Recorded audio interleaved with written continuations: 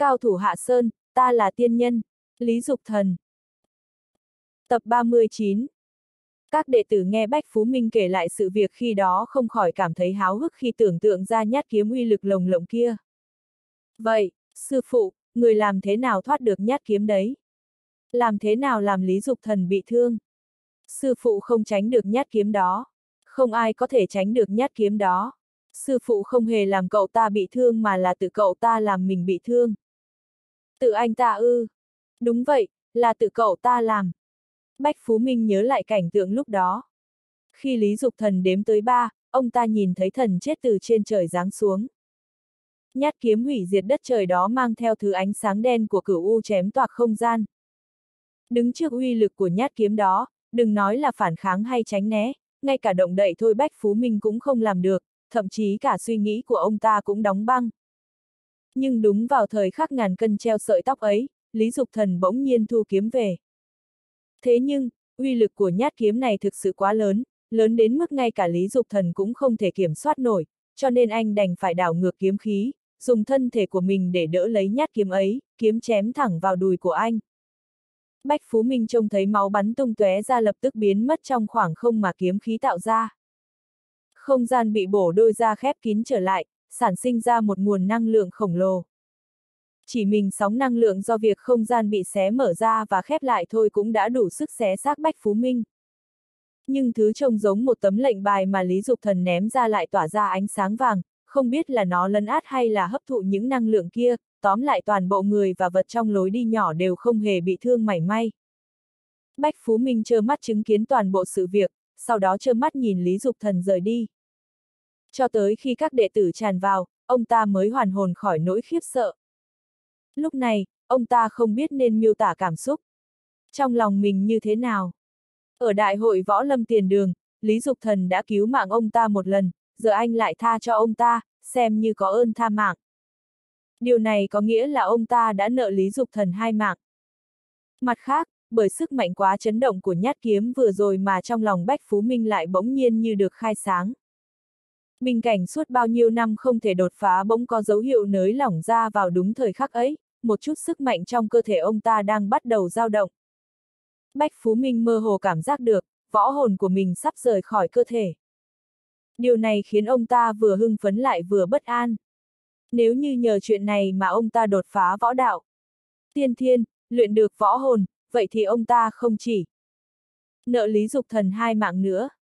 Nhưng vấn đề là, anh đã giết người ở Sơn Trang Hồng Vũ. Bất kể thế nào cũng không thể xóa sạch được chuyện này. Bất kể ai đúng ai sai, Bách Phú Minh cũng là hội trưởng hiệp hội võ đạo. Ông ta khó tránh khỏi tội lỗi. Mấu chốt là ông ta còn là đệ tử của Châu Khiếu Uyên. Ông ta có thể từ chức, có thể kiếm cớ mặc kệ chuyện này.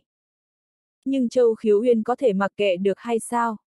Bốn tông sư bị giết ở Sơn Trang Hồng Vũ, ở Kim Lăng. Nhà họ Châu là gia đình võ đạo bề thế số một Kim Lăng há có thể mặc kệ hay sao? Châu Khiếu Uyên là nhân vật đại biểu của võ lâm Hoa Đông, người sáng lập Hiệp hội Võ đạo Hoa Đông há có thể mặc kệ hay sao? Nhưng không mặc kệ thì ông ta phải làm thế nào? Bách Phú Minh tưởng tượng thử, nếu như vừa rồi, người đứng ở đây không phải là ông ta mà là ân sư của ông ta Châu Khiếu Uyên. Nếu như là Châu Khiếu Uyên đối mặt với nhát kiếm hủy diệt đất trời kia của Lý Dục Thần thì ông ta sẽ làm như thế nào? Nghĩ tới đây, Bách Phú Minh đột nhiên dùng mình một cái, toàn thân nổi da gà. Ông ta không tưởng tượng ra nổi, thậm chí còn không dám tưởng tượng. Bất kể kết quả như thế nào, ông ta đều không muốn chuyện đó xảy ra. Nghĩ tới đây, Bách Phú Minh không do dự nữa, vội vã quay người rời đi. Sư phụ, ở đây thì làm thế nào bây giờ ạ? À? Đệ tử của Bách Phú Minh hỏi. Bách Phú Minh đáp mà không quay đầu lại, mọi người dọn dẹp chỗ này đi, cố gắng hết sức đừng phát tán chuyện xảy ra ở đây hôm nay ra ngoài, khống chế số người biết chuyện ở mức thấp nhất. Chờ sư phụ đi gặp sư phụ của mình về rồi sẽ quyết định xem bước tiếp theo. Nên xử lý như thế nào sau? Lý Dục Thần dẫn theo lang dụ văn trở lại ngô đồng cư ở thành phố Hòa. Mọi người đều đang đợi anh trở về. Khi nhìn thấy vết máu trên đùi anh, mọi người giật nảy mình. Dục thần, anh bị thương à? Lâm Mộng Đình vội vàng dìu anh ngồi xuống sofa phòng khách. Tôi không sao, Lý Dục Thần lắc đầu mệt mỏi. Vết thương nhỏ thế này đúng là chẳng là gì đối với anh nhưng khi đối mặt với Bách Phú Minh, để có thể đột ngột thu lại nhát kiếm mà mình chém ra, anh đã tiêu hao hết toàn bộ sức mạnh. Đó là một trận chiến đấu với chính bản thân mình. Bắt đầu từ lúc bị ép phải xuất quan, kẻ địch của anh đã không còn là người khác nữa mà là chính anh. Lý Dục Thần không chỉ phải chiến thắng tâm ma của mình mà còn cả thứ cổ xưa đang dục dịch thức tỉnh trong máu của anh. Khi nhìn thấy điệu múa thiên ma ở hoang trạch, anh đã biết rằng, kiểu gì rồi cũng có một ngày anh phải đối mặt với kẻ đó, hoặc là anh chiến thắng kẻ đó, hoặc là kẻ đó sẽ đánh bại anh. Anh còn bảo là không sao ư, anh xem chân anh này. Lâm Mộng Đình cầm kéo cắt đôi ống quần dính máu của Lý Dục Thần ra. Trên đùi của anh có một vết kiếm chém, kiếm khí còn lưu lại ở đó của kiếm huyền minh khiến vết thương không thể khép lại được, miệng vết thương màu đen, máu chảy ra đã khô lại, trông mà giật mình. Anh Dục Thân. Anh nhẹ xoa đầu Đinh Hương, cười nói, không sao, anh của em có thể lên trời xuống đất, chút vết thương nhỏ này thì có gì đáng kể đâu chứ. Đình Hương nín khóc mỉm cười, gật đầu thật mạnh, nói, dạ, em tin anh Dục Thần. Cũng tin anh Mã Sơn. Lâm Mộng Đình bưng một chậu nước nóng tới rửa sạch máu trên chân cho Lý Dục Thần. Vừa lau cô vừa trách móc anh, anh bị thương thành ra thế này rồi còn nói khoác cho được. Lên trời xuống đất à, thế sao anh không hái lấy mấy trái đào tiên về đây chia cho mọi người ăn? Lý Dục Thần lúng túng gãi đầu. Mọi người cười ầm lên. Bầu không khí lập tức trở nên dễ chịu. Dục Thần, cậu không sao thật chứ? Thực ra chị Mai đã nhìn ra được một chút dấu hiệu. Bà ta không lo lắng cho vết thương trên đùi của Lý Dục Thần. Mã Sơn và anh Thái đều đã đến quỷ môn quan rồi còn được anh cứu trở về thì vết thương nhỏ thế này chắc chắn cũng không thành vấn đề với anh. Nhưng khi Lý Dục Thần trở về, sắc mặt anh rất bất. Chị Mai biết chắc chắn anh đã gặp rắc rối, hơn nữa rất có thể rắc rối này không phải là vấn đề tới từ bên ngoài mà là xuất phát từ chính anh. Bất kể tu tiên hay luyện võ, cuối cùng đều phải đột phá chính mình. Tôi không sao, Lý Dục Thần cười, chỉ là có lẽ tôi sẽ phải tĩnh dưỡng một thời gian.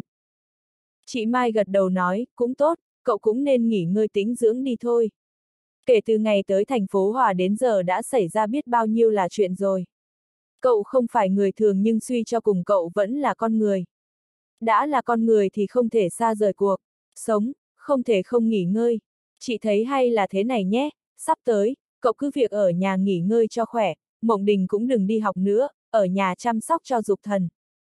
Đình Hương nói, vậy em cũng không đi học nữa, em. Cũng ở nhà chăm sóc anh dục thần. Chị Mai lườm Đình Hương một cái, người ta là vợ chồng, cần phải tận hưởng cuộc sống của vợ chồng trẻ, em ở lại đây để làm gì? Làm bóng đèn vui lắm chắc. Mọi người cười phá lên. Audio điện tử võ tấn bền. Đình Hương đỏ mặt lẩm bẩm, chẳng phải họ vẫn còn chưa chính thức kết hôn hay sao? Lâm Mộng Đình cười nói, cứ để em Đinh Hương ở lại đây đi ạ, em cũng có người làm bạn. Sư phụ Vinh lắc đầu, tặc lưỡi, thở dài, ôi chao, đẹp trai thích thật đấy, bao nhiêu người đẹp tranh nhau ở lại hầu hạ, có người rửa chân, có người đấm lưng, song túc song phi, ôi song túc song phi. Ông ta nhấn mạnh vào hai chữ cuối. Trong số những người đang ngồi ở đây, ngoại trừ Lý Dục Thần ở lâu trong núi và Đinh Hương ngây thơ ra, tất cả đều nghe hiểu, bật cười ầm ầm. Ngay cả Lâm Mộng Đình cũng chỉ gắt khẽ một tiếng, mắng một câu già mà không nên nết rồi cũng không nhịn được bật cười. Chỉ có định hương là ngơ ngác, không hiểu mọi người đang cười gì. Chị Mai lườm sư phụ Vinh một cái, mắng có phải ông đã thử rồi không? Sư phụ Vinh đang cười nghe vậy lập tức sợ mất mật, chiếc đầu to trên chiếc cổ to lắc như trống bỏi, lập tức phủ nhận. Không không, A Mai, bà hiểu tôi mà, ngoài nấu đồ ăn ra, tôi đâu biết gì nữa đâu. Ôi ôi, mọi người cười cái gì vậy? Tôi chỉ nói thành ngữ thôi mà, mọi người nghĩ gì thế? Thật lai. Ông chủ vương cười hì hì nói, phải phải, tay nghề của sư phụ Vinh giỏi như vậy chắc chắn là do không ngừng cần cù luyện tập bất kể ngày đông giá rét hay ngày hạ nóng bức. Ở thủ đô, có ai mà không nghe tiếng tay nghề dùng dao của sư phụ Vinh đúng không? Người ta khổ cực như vậy, nấu đồ ăn mệt mỏi rồi thì tới 8 khu phố đèn đỏ lớn nhất thủ đô song túc song phi cũng là chuyện rất đối bình thường thôi mà. Sư phụ Vinh đang lắng tai nghe ông chủ vương khen, tới khi ông chủ vương nói tới câu cuối cùng, khuôn mặt tươi cười của ông ta lập tức cứng đờ, tím tái lại như màu thận heo, chỉ tay vào ông chủ vương, giận dữ nói. Ông Vương, ông giỏi lắm, tôi biết ngay là cái miệng của ông chẳng nói ra được lời gì tốt đẹp mà. Nói rồi, ông ta rút dao phay ra đòi chém đối phương. Ông chủ vương cười hì hì bỏ chạy, nói ông cuống lên vậy làm gì. Tôi đâu có kể cho mọi người biết chuyện ông đi chơi phố đèn đỏ không chịu trả tiền đâu. Ôi, ông làm gì thế, nghe vậy ông lại còn phấn chấn nữa à? Ông chủ vương vừa nói vừa né, chạy thẳng ra ngoài cửa. Sư phụ Vinh vung con dao phay đuổi theo đằng sau. Bên ngoài vang lên tiếng quát to của ông ta, ông vương kia. Đồ chết tiệt nhà ông, có giỏi thì đừng có chạy. Thấy hai người họ đùa bỡn nhau như vậy, mọi người lại càng cười ngặt nghẽo hơn. Lý Dục Thần ngồi xem sư phụ Vinh và ông chủ vương người bỏ chạy kẻ đuổi theo, lắng nghe tiếng cười ngập tràn trong phòng, bỗng nhiên hiểu ra lời chị Mai nói. Đúng vậy, con người còn sống thì còn phải sinh hoạt. Người không có sinh hoạt thì chỉ là cái xác không hồn. Tự ngẫm lại bản thân từ ngày xuống núi tới nay lúc nào cũng bận biểu hết chuyện này tới chuyện khác, vội vội vàng vàng, không để ý tới niềm vui và sự chân thực của cuộc sống. Hiện tại, vì huyết mạch thiên ma khôi phục mà tâm ma dung chuyển, sát nhiệt tăng lên. Điều này trái với mục đích mà sư phụ bảo anh xuống núi quan sát cuộc sống đời thường. Đúng là anh nên nghỉ ngơi thật tốt, trải nghiệm một chút cuộc sống đích thực.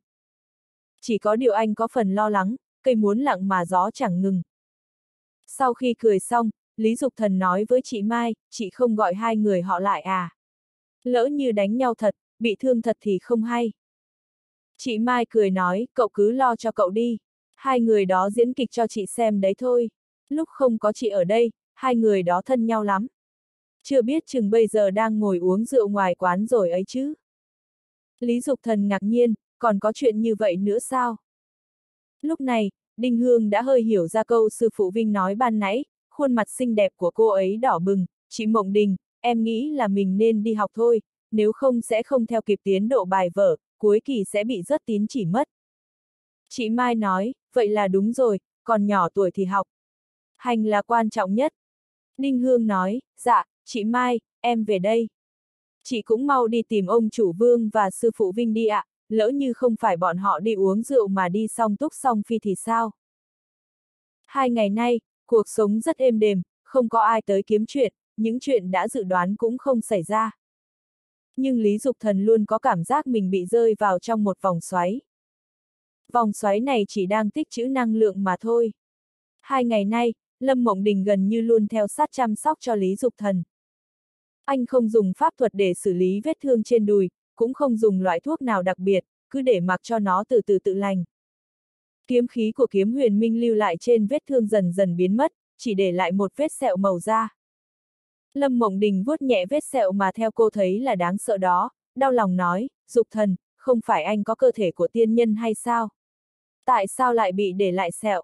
Vậy, Lý Dục Thần cười nói, tôi cố ý để lại vết sẹo này đấy. Tại sao? Gần đây tôi giết chóc quá nhiều, không kiểm soát nổi tâm ma, tôi muốn giữ lại vết sẹo này để thường xuyên nhắc nhở bản thân nhớ rằng, tôi vẫn chưa phải là tiên, tôi có thể sẽ nhập ma bất cứ lúc nào, không được.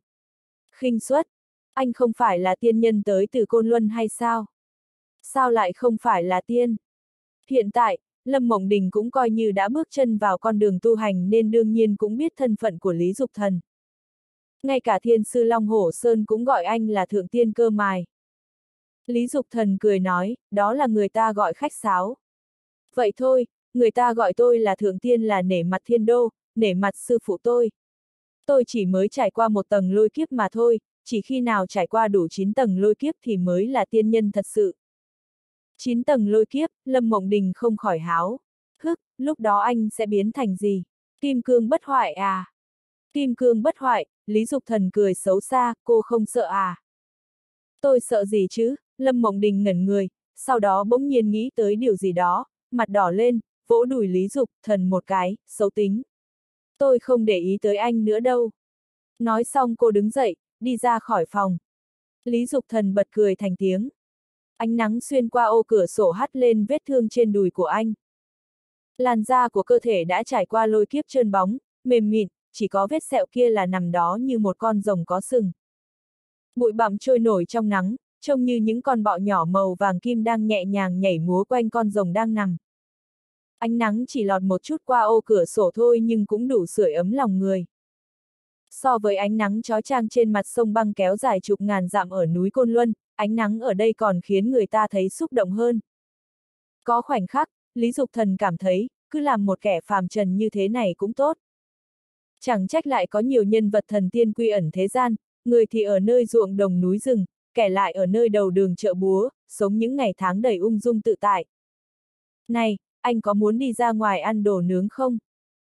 Lâm Mộng Đình bỗng nhiên thò đầu từ ngoài cửa vào phòng, nhìn anh đầy hoạt bát. Đồ nướng à, Lý Dục Thần sửng sốt. Cái quán mà hồi xưa chúng ta từng đi ăn ấy, Lâm Mộng Đình nói. Lý Dục Thần nhìn sắc trời bên ngoài cửa sổ, nói trời đang nắng to, chắc vẫn chưa tới giờ quán nướng mở cửa đâu. Nhưng bỗng nhiên tôi muốn ăn, nếu anh không muốn đi thì thôi, Lâm Mộng Đình lộ vẻ thất vọng ra mặt. Được thôi, Lý Dục Thần đứng lên, bỏ ống quần xuống che vết sẹo đi, vậy thì chúng ta đi ăn đồ nướng nào. Lâm Mộng Đình vui vẻ trở lại, nhảy nhót chạy vào trong phòng. Lý Dục Thần giả vờ vết thương còn chưa khỏi, chân mềm nhữ ra. Lâm Mộng Đình kêu ôi trao một tiếng, vội vàng đỡ anh, dù biết là anh cố ý nhưng không vạch trần mà còn bắt trước một điệu hát cổ xưa đặc trưng của thành phố Hòa, nói. Ôi tướng công, xin chàng chậm bước, để ta dìu chàng. Lý Dục Thần bật cười, để cô đỡ người anh đi xuống dưới nhà, băng qua khoảng sân, bước ra khỏi cửa ngô đồng cư. Một con nhím đang nằm phơi nắng ở mép giếng trong sân nghiêng đầu nhìn họ, đôi mắt nhỏ đảo mấy vòng, xem chừng rất tò mò. Lúc Lý Dục Thần và Lâm Mộng Đình đến quán nướng, quả nhiên vẫn còn sớm, quán nướng còn chưa mở hàng, những chiếc bàn vẫn còn đang được gập lại, xếp sát vào tường, những chiếc ghế đường trồng lên thành một chồng cao. Lý Dục Thần nói, cô thấy chưa, tôi đã nói là tới sớm rồi mà. Lâm Mộng Đình kéo cánh tay của anh, lờ đễnh nói, sớm thì sớm vậy, dù sao tôi cũng không đói. Không đói ư, Lý Dục Thần ngạc nhiên, không đói thì cô đòi ăn đồ nướng làm gì. Tôi chỉ muốn tới đây xem thử, tiện thể đi dạo với anh một chút thôi, Lâm Mộng Đình nói nhẹ nhàng như một cơn gió dịu nhẹ. Lý Dục Thần lấy chiếc bàn xếp ở góc tường ra, bày nó ra rồi lấy thêm hai chiếc ghế. Thấy anh đã bày bàn xong, Lâm Mộng Đình hơi ngạc nhiên. Bởi vì cô phát hiện ra vị trí của chiếc bàn này chính là vị trí mà lần đầu tiên cô và Lý Dục Thần tới đây ăn đồ nướng. Lần thứ hai bọn họ cũng ngồi ở đây. Còn giờ là lần thứ ba cũng vẫn là vị trí này. Anh cố ý ư, hay là do ông trời sắp đặt? Dường như Lý Dục Thần không hề nghĩ gì nhiều, anh bày bàn ra xong, bảo Lâm Mộng Đình ngồi xuống, còn anh thì sang cửa hàng trà sữa gần đó mua hai cốc trà sữa. Lâm Mộng Đình hút trà sữa, cười nói, anh giỏi lấy lòng quá nhỉ, anh nói thật xem nào, có phải trước đây ở trong núi, anh cũng thường lấy lòng các sư tỷ như vậy hay không? Đương nhiên rồi, Lý Dục Thần nói đầy đường hoàng, sư tỷ thì đương nhiên là phải lấy lòng rồi, nếu không mông sẽ nở hoa mất. Lâm Mộng Đình phì cười, suýt nữa bắn cả trà sữa ra ngoài. Lúc này, một thanh niên trẻ đi từ trong cửa hàng ra, thấy bọn họ bày bàn ra ngồi uống trà sữa, khó chịu bảo. Lý Dục Thần nói, này cậu, tiện cho người thì cũng là tiện cho mình TH, Âu đừng nóng tính như vậy. Chúng tôi chỉ ngồi đây một lát thôi, không ảnh hưởng gì tới cậu cả. Bao giờ cậu mở cửa thì chúng tôi sẽ chiếu cố chuyện làm ăn của cậu. Đây là lần đầu tiên Lâm Mộng Đình thấy Lý Dục Thần nói chuyện hiền lành như vậy, cô cảm thấy thú vị nên mỉm cười ngồi xem. Chàng trai trẻ kia hơi nóng nảy, nói ôi, anh nói chuyện có lý chút đi, đây là quán của tôi, bàn của tôi. Giữa ban ngày ban mặt, nếu ai cũng tới đây ngồi uống trà sữa giống như anh thì chẳng phải quán nướng của tôi biến thành quán trà sữa rồi hay sao? Lý Dục Thần nói, vậy chẳng phải là rất tốt hay sao, cậu có thể kiếm thêm một chút tiền đấy. Thôi đi, tôi không cần mấy đồng bạc ấy, chàng trai trẻ không nhịn nổi nữa, đi đi. Lý Dục Thần còn muốn nói tiếp nhưng Lâm Mộng Đình ngăn lại, cô cười nói, được rồi, anh đổi tính nói nhiều như vậy từ bao giờ thế? Tôi thật chẳng quen. Lý Dục Thần cười nói, tại mấy nay sống với cô đó. Đây gọi là gần đèn thì dạng, gần mực thì đen hê hê. Chỉ được cái giỏi nói thôi, Lâm Mộng Đình cười mắng, đi nào, dù sao quán cũng đã đổi chủ rồi, không còn gì để tưởng niệm nữa. Lý Dục Thần đứng lên, bất đắc dĩ nói, được thôi, vợ tôi bảo đi thì tôi đi vậy. Bọn họ đang định đi thì chàng trai trẻ kia lại la lên, này, lau sạch bàn rồi xếp lại chỗ cũ đi chứ. Lý Dục Thần nhìn chiếc bàn, cái bàn này có bẩn đâu. Chàng trai trẻ nói, hai người ngồi đó uống trà sữa, không bẩn thì cũng phải lau một lần chứ. Này cậu quá đáng rồi đấy nhé.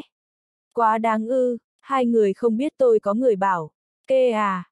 TH, Lý Dục Thần lại ngẩng đầu lên nhìn biển hiệu, ai bảo kê cho cậu vậy? Nói ra chắc anh sợ chết khiếp, chàng trai trẻ ngẩng đầu, ưỡn ngực đáp, anh đã nghe tên tập đoàn kinh lý bao giờ chưa? Anh có biết cậu Lý người thủ đô không? Quán này của tôi được cậu Lý bảo kê đấy. Đừng nói là bảo anh lau bàn, dù có bảo anh phải ăn hết cái bàn này thì anh cũng phải ngoan ngoãn ăn hết rồi mới được đi. Lâm Mộng Đình che miệng lại nhưng vẫn không nhịn được phì cười.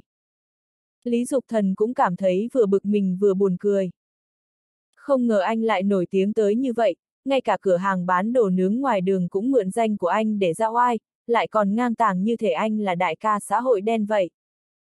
Quả nhiên là người sợ nổi danh, heo sợ mập, mông có cất thì ruồi mới bu. Cậu Lý mà cậu nói là cậu Lý nào vậy?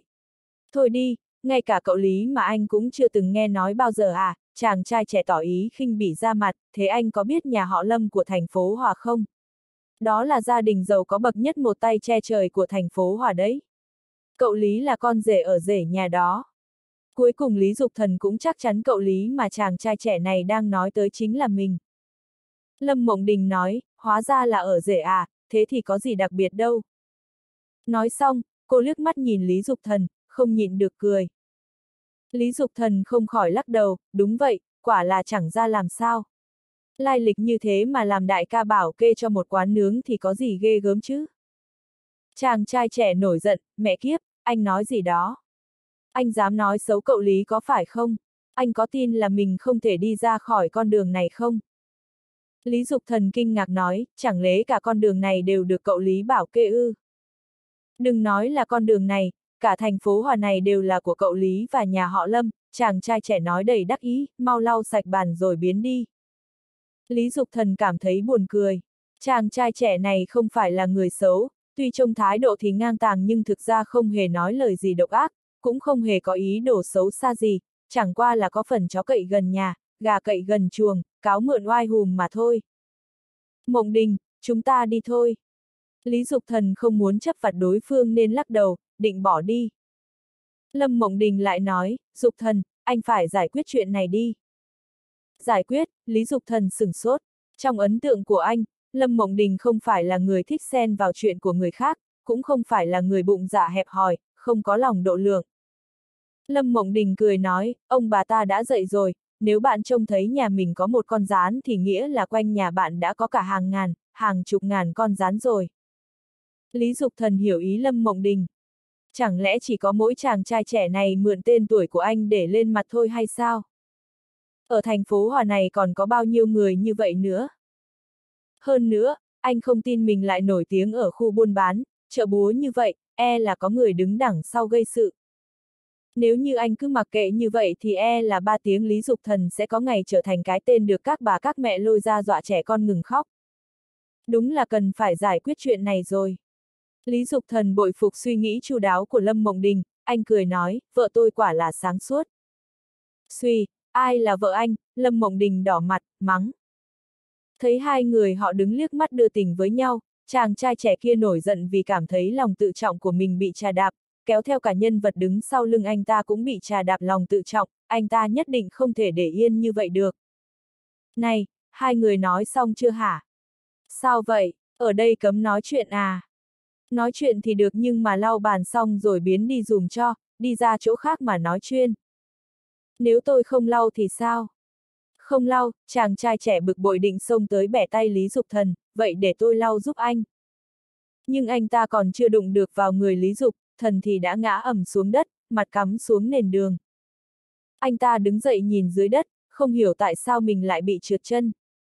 Anh ta định lại xô Lý Dục Thần thì lại tiếp tục bị ngã sấp xuống đất với cùng một tư thế và ở cùng một vị trí. Lần này thì dù có ngu đi nữa anh ta cũng biết là Lý Dục Thần dở trò. Anh ta đứng lên, chỉ tay vào Lý Dục Thần nói, anh. Anh to gan lắm, anh chờ đó. Nói rồi, anh ta lấy điện thoại ra gọi. Cúp điện thoại, chàng trai trẻ hung dữ chừng mắt nhìn Lý Dục Thần, này anh, có giỏi thì cứ đứng đấy chờ. Ông Tam sẽ tới xử đẹp anh. Được, vậy tôi chờ. Lý Dục Thần kéo Lâm Mộng Đình ngồi xuống. Chẳng bao lâu sau, hai chiếc xe phóng vù tới đây rồi dừng lại. Một nhóm người nhảy xuống xe, đi về phía họ. Chàng trai trẻ hưng phấn, chỉ tay vào Lý Dục Thần nói, anh chết chắc rồi, nói rồi lập tức chạy ra đón những người kia. Anh Bân, anh Báo, anh Dương, chàng trai trẻ cúi đầu khom lưng chào hỏi. A Đông, có chuyện gì vậy? Anh ta, chính là bọn họ, chàng trai trẻ tên là A Đông chỉ tay vào Lý Dục Thần và Lâm Mộng Đình, bọn họ đến đây gây chuyện, tôi nói chỗ này đã được cậu Lý bảo kê rồi nhưng chẳng những họ không coi ra gì mà còn đánh tôi nữa. Ôi sống ở thành phố Hòa mà lại dám không coi cậu Lý ra gì à? Vậy tôi phải đi xem xem ai là người to gan dám đánh người ở địa bàn của tôi như mới được. Dứt lời, nhóm người đó tách ra hai bên, một người mặc áo vét màu đỏ rượu, đeo dây xích vàng to ở cổ và kính dâm to trên mắt cộng với mái tóc nhuộm đỏ trên đỉnh đầu nghênh ngang sải bước đi tới đây. A à, Đông vội vàng khom lưng chào, ông Tam mồ. Ông Tam vỗ vai anh ta, yên tâm, ông Tam sẽ đòi lại công bằng cho cậu. Sau đó, ông Tam ung dung đi về phía Lý Dục Thần và Lâm Mộng Đình. Anh cười hì hì nhìn đối phương, chào một tiếng, ông Tam. Ông Tam giật bắn mình, vội vàng tháo kính dâm xuống, tới khi thấy rõ mặt Lý Dục Thần, chân ông Tam mềm nhún, quỳ bịch xuống đất. Lý, Lý, Lý, ông Tam bò dạp người dưới đất, không dám ngẩng đầu lên, lắp bắp mãi một hồi mới nói xong, cậu Lý. Nghe vậy, những người đi theo ông Tam đều trợn tròn mắt. Có người tinh mắt, phản ứng nhanh cũng quỳ xuống theo ông Tam. Tất cả dầm dập quỳ xuống đất, cuối cùng chỉ còn thừa lại mỗi chàng trai trẻ tên là A Đông kia là ngây ngốc đứng như trời trồng. Thì ra ông Tam quỳ dưới đất chính là Hoàng Tam. Mấy tháng trước Hoàng Tam chỉ là một người nhặt phe chai, kiếm miếng cơm dưới trường anh Thái. Vậy mà giờ đây Hoàng Tam đã trở thành đại ca của cả vùng này. Lần đầu tiên Lý Dục Thần gặp Hoàng Tam còn từng tát Hoàng Tam một cái. Chính vì cái tát này mà Hoàng Tam cho rằng anh ta có giao tình với Lý Dục Thần, giao tình và mặt thì cũng là giao tình mà. Cho nên khi nói với mọi người, Hoàng Tam thường bỏ qua anh Thái và Mã Sơn, nói mình là người của cậu Lý. Bởi vì anh ta từng làm việc cho Lý Dục Thần nên anh Thái và Mã Sơn cũng không chấp anh ta. Nhưng anh ta không ngờ được rằng có một ngày đàn em của mình lại thực sự đắc tội cậu Lý. Hoàng Tam quỳ dưới đất, run lẩy bẩy, quay đầu lại nhìn, thấy A Đông vẫn còn đứng ngẩn người như một thằng đần bèn hậm hực xoay người lại, bò về phía đó, quét chân một cái, làm A Đông ngã xuống đất, sau đó nhấn đầu A Đông xuống đất, nói. Cậu Lý, thằng danh này có mắt mà không thấy núi Thái Sơn, xin anh bất giận, để tôi đánh quẻ cảng anh ta. A Đông sợ run rẩy, xin tha, ông Tam tha mạng. Hoàng Tam cả giận nói, cậu xin tôi cũng chẳng ích gì hết. Hừ, cậu đắc tội cậu Lý thì chớ trách tôi vô tình. Ông Tam, xin tha mạng. Cậu Lý, xin tha mạng, a à, Đông gào khóc.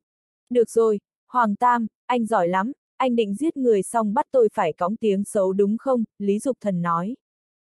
Hoàng Tam vội vàng buông A Đông ra, lồm cồm đứng dậy, chạy lại chỗ Lý Dục Thần, nói cậu Lý, ý tôi không phải vậy.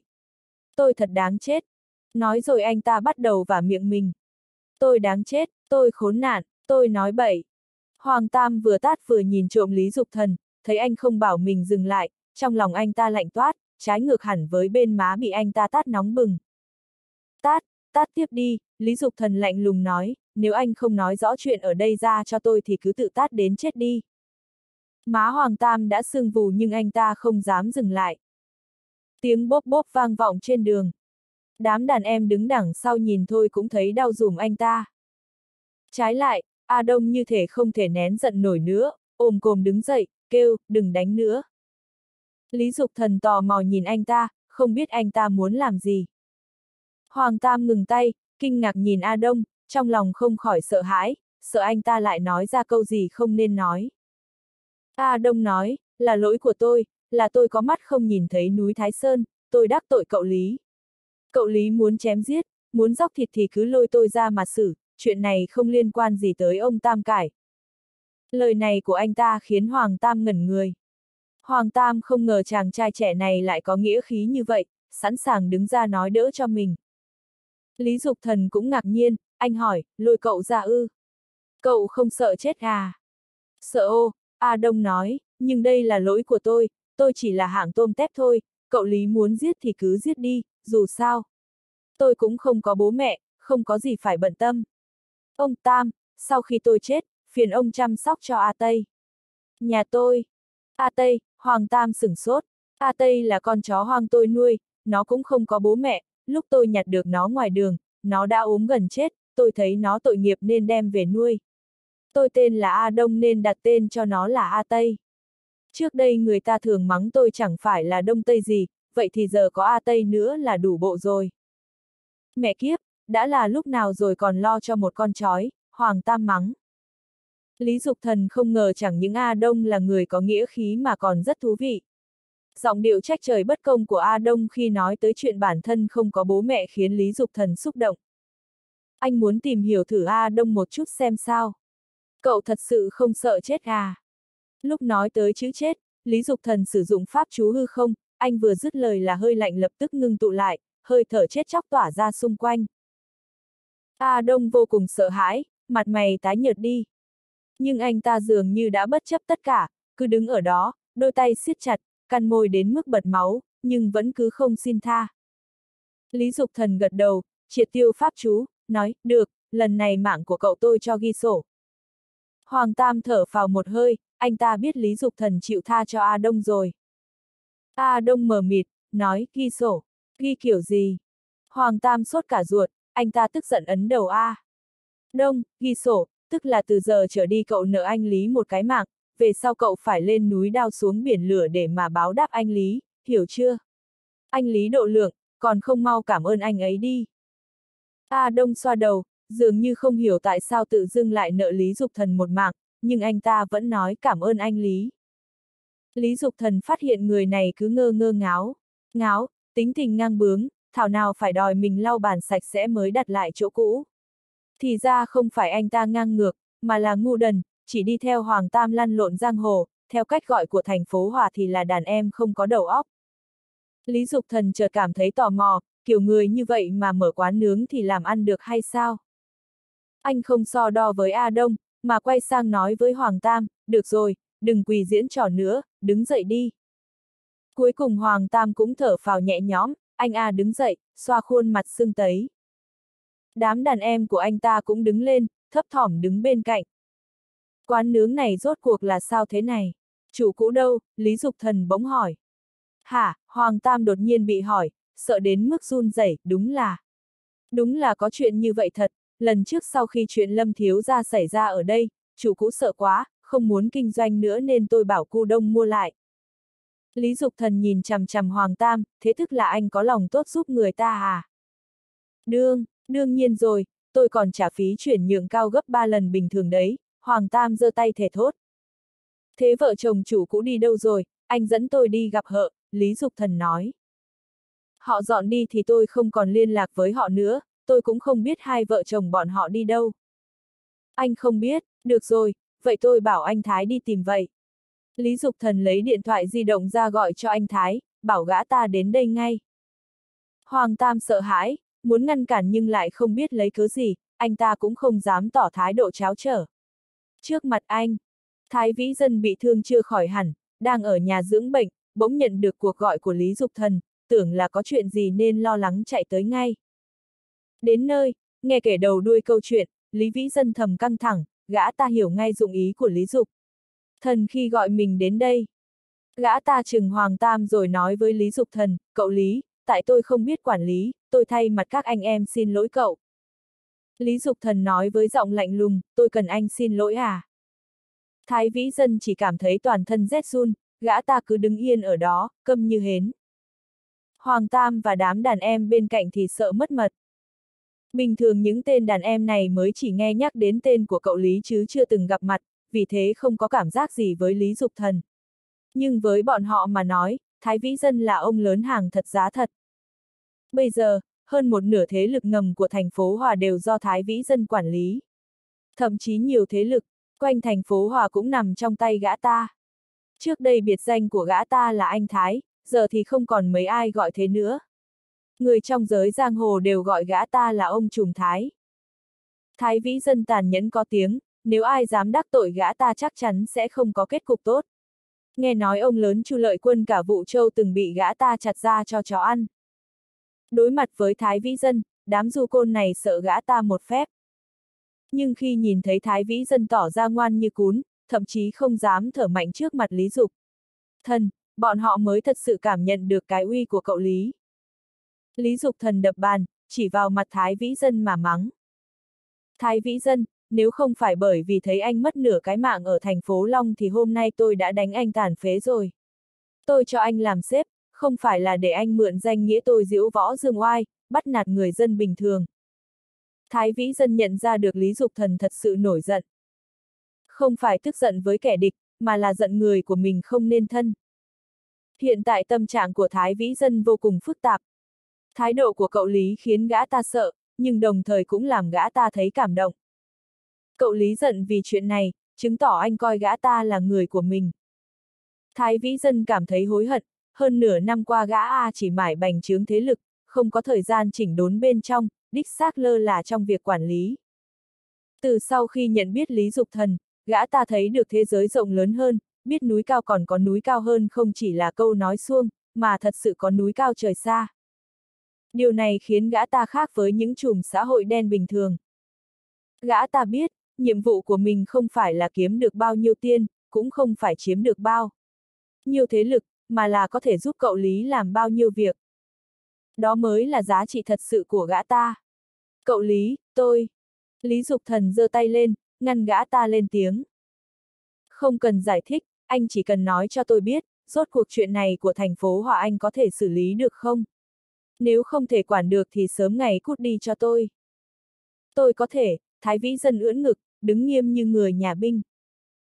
Lý Dục Thần nhìn A Đông, rồi chỉ vào biển hiệu của quán nướng, nói anh có biết quán nướng này do tôi bảo kê không? Hiển nhiên A Đông không hiểu ý của Lý Dục Thần, ánh mắt ngơ ngác càng thêm mờ mịt, anh ta gãi đầu, nói.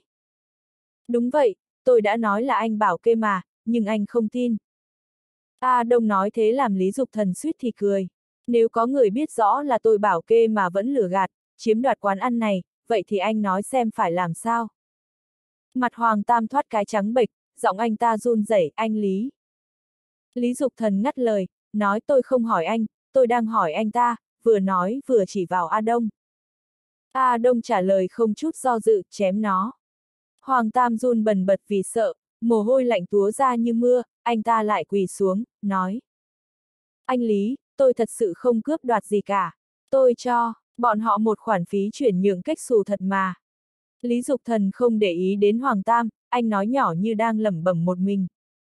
Trước đây tôi đã hứa với chủ quán và vợ, chỉ cần bọn họ muốn thì quán nướng này vẫn có thể buôn bán tiếp, nếu có người ức hiếp bọn họ thì cứ đến tìm tôi.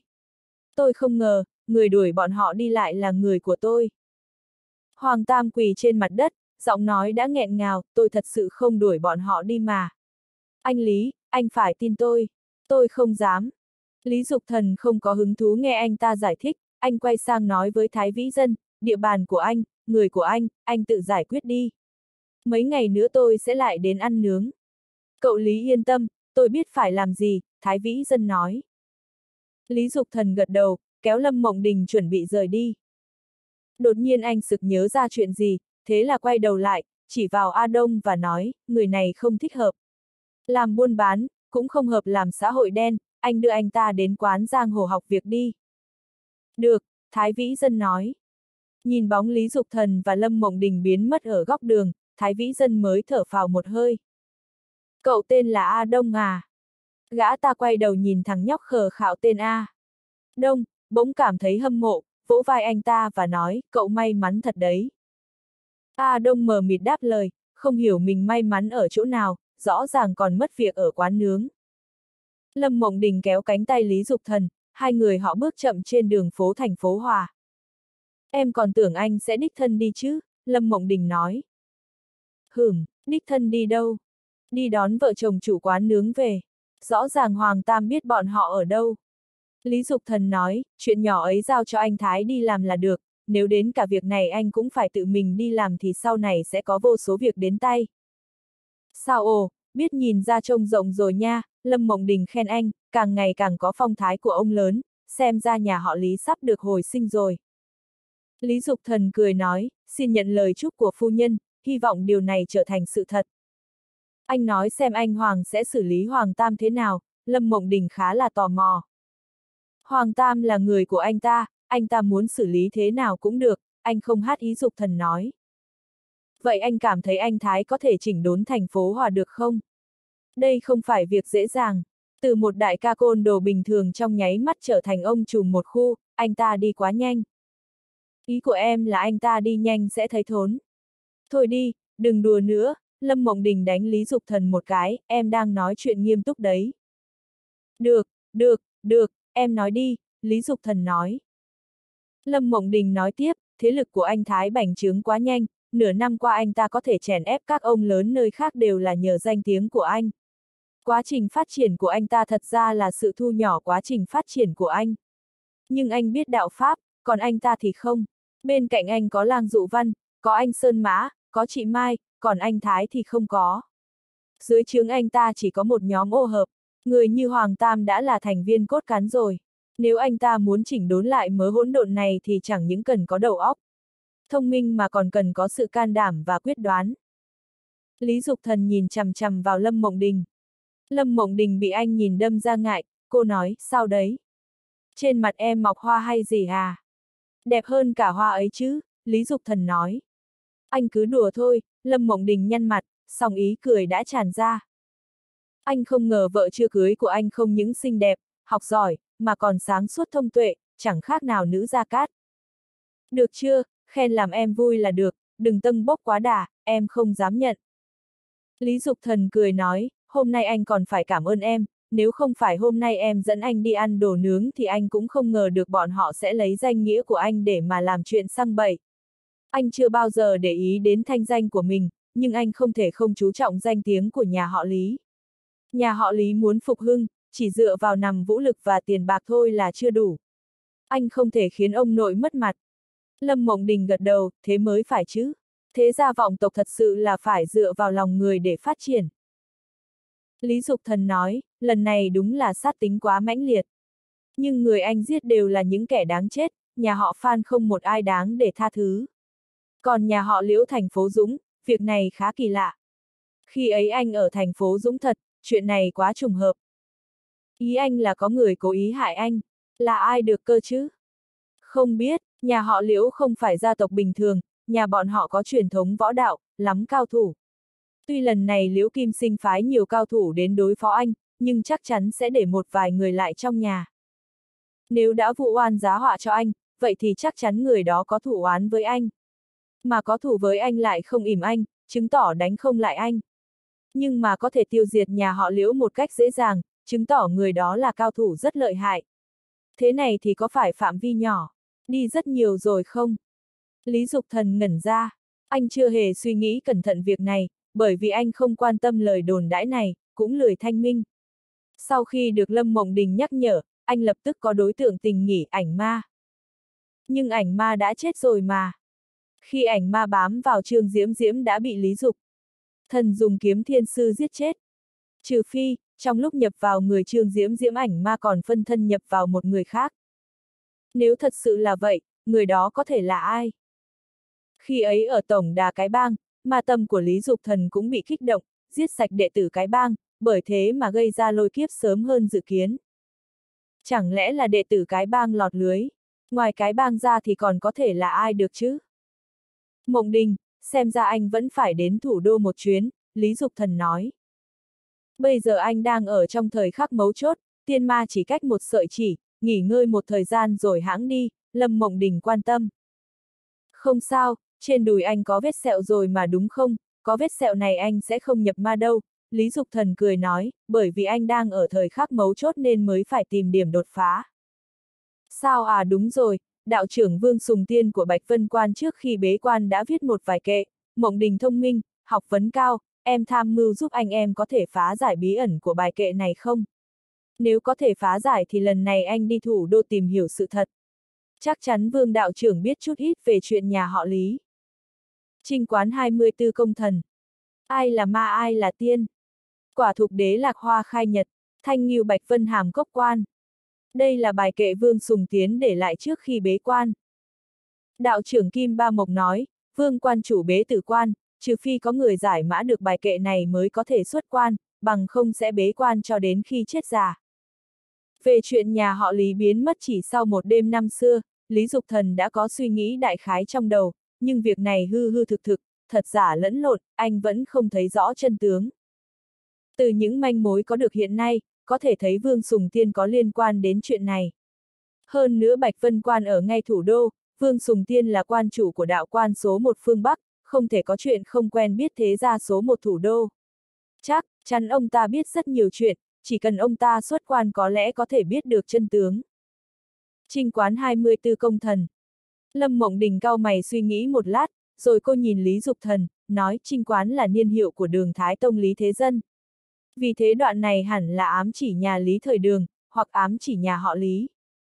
Hồi nhỏ Lý Dục Thần không đến trường lớp chính thức, sau đó ở thiên đô bị các sư tỷ ép học, phần lớn đều đọc thiên thư huyền môn, về phương diện lịch sử chỉ đọc sơ qua.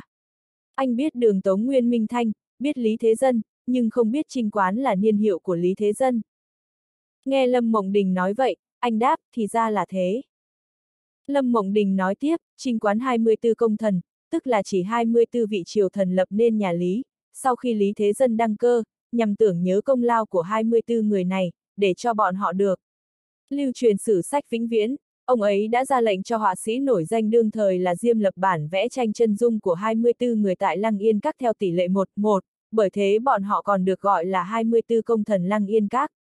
Đó đều là những nhân vật nổi tiếng trong lịch sử, ví dụ như Ngụy Trinh, Trưởng Tôn Vô Kỳ, Tân Quỳnh, Uất Chỉ Cung. Khoan đã, Lý Dục Thần ngắt lời, em vừa nói cái gì các cơ? Lăng Yên Các, Lâm Mộng Đình đáp, nằm ở thành Trường An, đáng tiếc nó bị hủy hoại trong chiến tranh, bây giờ không còn thấy được nữa. Lý Dục Thần cao mày, trầm tư. Lâm Mộng Đình thấy anh không nói gì, bèn tiếp tục phân tích thơ, cô nói, ai là ma ai là tiên, câu này về mặt chữ thì rất dễ hiểu, nhưng khi liên kết với câu trước thì lại khá khó hiểu.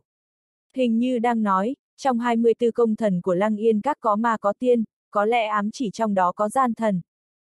Mẹ anh tên là Lăng Yên, cung Lăng Yên, đột nhiên Lý Dục Thần nói. Lâm Mộng Đình sửng sốt, cô ngạc nhiên nhìn Lý Dục Thần, lẩm bẩm, Lăng Yên. Nhà họ Lý, ai là ma ai là tiên? Dường như Lâm Mộng Đình đã đoán ra được cái gì, cô không nói tiếp nữa. Lý Dục Thần không giấu cô, anh nói thẳng, mẹ anh là thánh nữ ma giáo, có lẽ hai câu thơ này ám chỉ việc này. Nhưng Lâm Mộng Đình lại lắc đầu, nếu mẹ anh là ma nữ thì có thể khẳng định, tại sao ông ấy lại dùng câu hỏi ở đây? Lý Dục Thần nói, sinh ra làm ma là điều không thể lựa chọn. Nhưng sau khi phải lòng bố anh, bà ấy quyết âm vứt bỏ ma tâm thánh nữ, làm một người bình thường. Anh kể cho Lâm Mộng Đình nghe những gì anh biết được trong khoảng thời gian này. Lâm Mộng Đình nghe câu chuyện tình yêu giữa Cung Lăng Yên và Lý Vân Hoa, bất giác cảm thấy hâm mộ, cô nói, thật là một câu chuyện lãng mạn.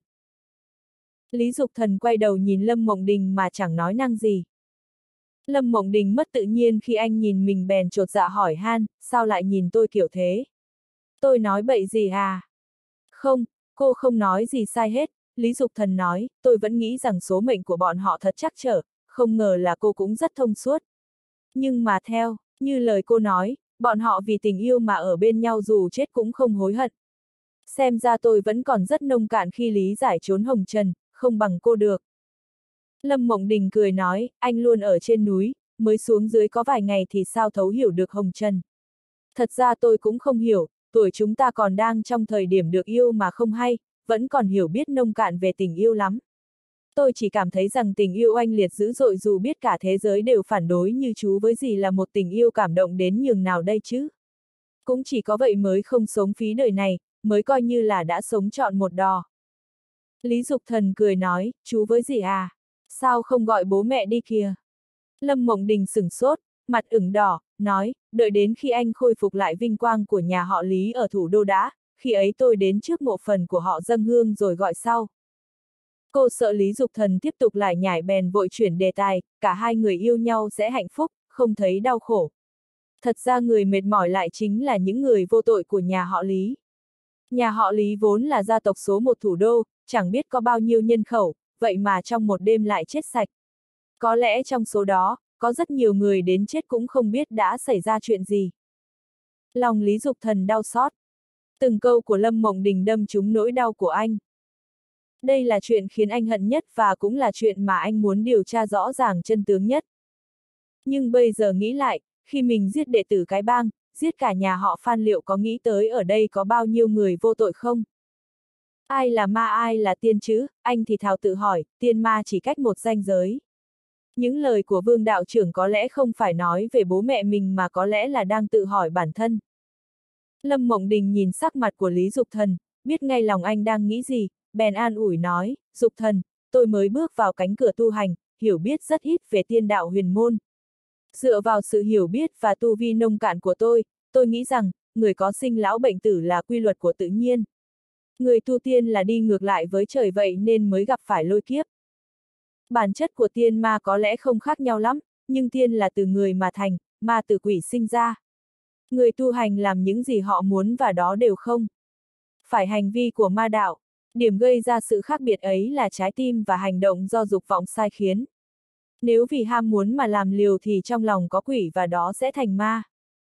Những gì anh làm gần đây quả thật có sát nghiệt quá nặng, trái với thiên hòa, nhưng đáy lòng anh vô tư không quan tâm không coi đó là hành động của ma đạo, vậy nên anh cũng không tự trách bản thân.